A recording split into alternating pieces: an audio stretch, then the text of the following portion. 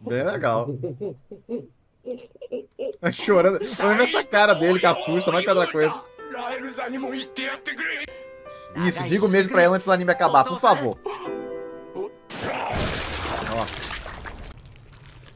血は繋がってなくても父親と将来の旦那様だからね Ah, ela mesmo, a fada mesmo já classifica como futuro marido dela. Essa parte é que é interessante.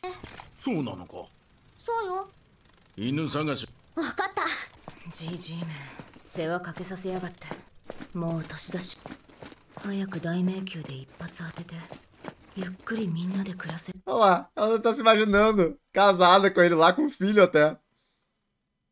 É realmente uma cena bonitinha.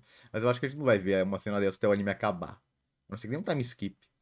Mas se eles, se eles declarar pra ela, os dois virarem já namorados, seria ótimo. Porque até a própria fada já considera o Saito como marido dela.